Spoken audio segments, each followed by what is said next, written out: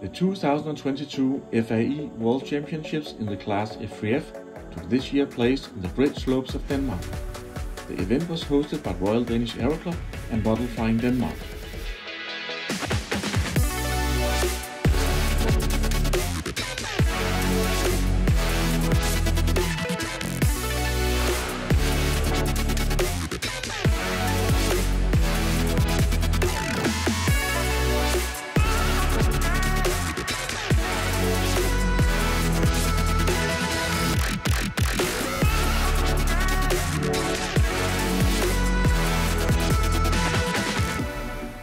During the week of competition, the wind varied from 3 meters per second to 25 meters per second, so the whole wind spectrum of the F3F class was challenged.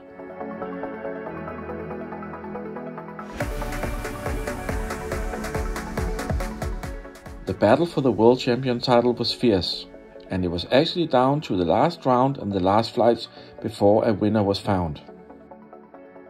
The World Championships is not only about finding a winner. It's also about meeting old friends, making new friends, and having a fierce but friendly rivalry amongst all competitors who beats who and who will have the bragging rights for the next two years.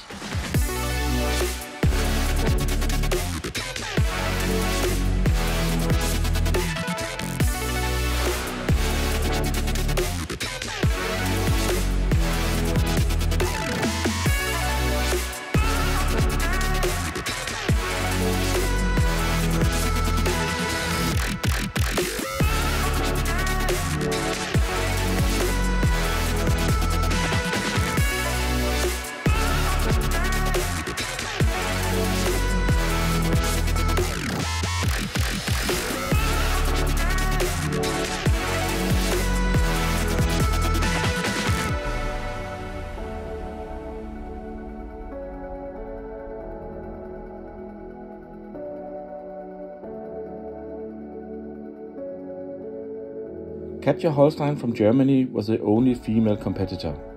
She did an amazing job, and for sure she will inspire women to compete in the future. In the juniors category, Mikkel Krogh Petersen from Denmark took the victory, in front of Michael Glovka from Poland. The young flyers showed great potential, and the F3F scene has a bright future.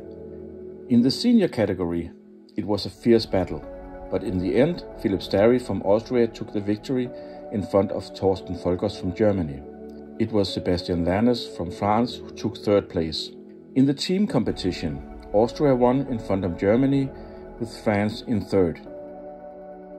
That's a wrap for the 2022 F3F World Championships in Denmark. In 2024, France will host the World Championships. Let the games begin everybody is uh, throwing the wing in the air.